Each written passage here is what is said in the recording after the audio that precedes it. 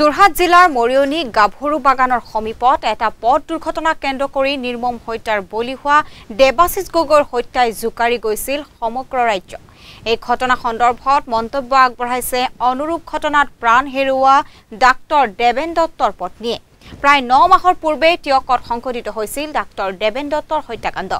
ঘটনাৰ লগত জড়িতসকলক কঠোৰৰ পৰা কঠোৰতম শাস্তি প্ৰদান কৰিবলৈ চৰকাৰ তথা প্ৰশাসনক দাবী জনাইছে সকলোৱে। ইপিনে এই ঘটনা সন্দৰ্ভত যোৰহাটৰ লোকসভা সমষ্টিৰ সাংসদ তপন গগৈয়ে দেৱাশিষৰ পৰিয়ালক ঘটনাৰ বিচাৰ যি ফাষ্ট ট্ৰেক আদালতত হ'ব বুলি ঘোষণা কৰিছে সেয়া কোনো কাৰণতে নহয় বুলি দাবী কৰিছে প্ৰয়াত দেৱেন দত্তৰ পত্নীয়ে। আৰু চৰকাৰক দোষীক শাস্তি প্ৰদানৰ ক্ষেত্ৰত শিথিলতা নকৰি হত্যাকাৰীৰ চৰম শাস্তি মৃত্যুদণ্ড দিবলৈ আহ্বান জনাইছে দেৱেন দত্তৰ পত্নী অপৰাজিতা দত্তই। মৰ্মান্তিক হৈছো। কাৰণ মই ভাবিছিলো তেতিয়া সেইটো সময়ত বেদিয়া নামৰ এই আচ্ছাৰ লিডাৰজন মোৰ ঘৰলৈ আহি মোৰ ভৰিত ধৰি কান্দিছিলে। যে বাইদেউ এইখিনি আমি মাফ কৰিব। বহুত ভুল হৈ গৈছে আমাৰ জনজাতি সকলৰ কাৰণে আমি লজ্জিত। অতি লজ্জিত অতি লাজ পাইছো চিনাকি দিবলৈ লাজ পাইছো।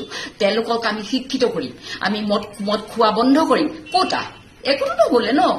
ন মাহৰ পিছতে আকৌ অনুৰূপ একেই ঘটনা ঘটিলে। আৰু যেতিয়া কামাখ্যা প্ৰসাদ টাচা ডাঙৰী ইয়ালৈ আহে মোৰ জোৱাইয়ে সুধিছিলে যে এনেকুৱা ঘটনা যদি আকৌ পুনৰাবৃত্তি হয় আপুনি কি কৰিব? তেতিয়া তেখেতে কলে কি জানেনে? হেৰি কৰি তেতিয়া সময়ত দেখা যাব। টাচা ডাঙৰীয়া এইটো সময়। সময় সময় সময় সময় কৰি আপোনালোকে একদম অসমীয়া জাতি শেষ কৰি পেলাই ডক্টৰ হিমন্ত বিশ্ব শৰ্মা ডাঙৰীয়াৰ মতে চিকিৎসকসকল হল এটা ঈশ্বৰ। তেনেকুৱা এজন ঈশ্বৰক টানি লৈ গুচি গল। হা?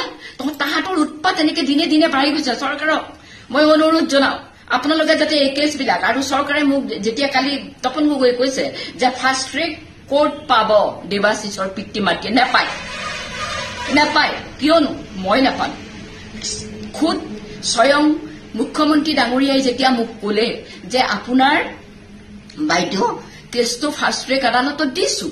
কিন্তু ক'ত পিছত যেতিয়া অৰ্ডাৰ আহিলে ফাষ্ট ট্ৰেক কোৰ্ট নাই? অৰ্ডাৰটো আহোঁতেও বিশ পঁচিছ দিন লাগিলে। ফাষ্ট ট্ৰেক কোৰ্ট নাই? কোৰ্ট নাই? মই গৈ গুৱাহাটীত ৰখি আছিলোগে তেখেতৰ লগ কৰিবলৈ মোকো লগ কৰিবলৈ নিদিলে। গতিকে ফাষ্ট ট্ৰেক কোৰ্ট নাই? মই মোৰ ক্ষেত্ৰত নহলে গতিকে মোৰ ক্ষেত্ৰত চিফ মিনিষ্টাৰৰ বাক্য যেতিয়া নেখাটিলে তপন গগৈ বাক্য ক'ত খাটিব? কেনেকে তপন গগৈ বাক্য খাটিব?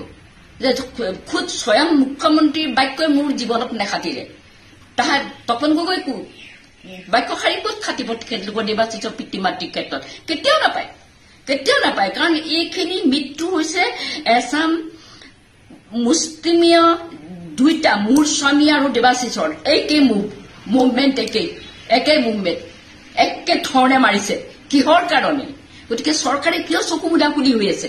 কিয় মাত নিদিয়ে ইয়াৰ কাৰণে? হা? আপোনালোকে কিয় মাত নিদিয়ে? কেছটো গ'লেও আপোনালোকে ওপৰৰ পৰা কিয় ইণ্টাৰফিয়াৰ কৰে? ইণ্টাৰফিয়াৰ নকৰিব।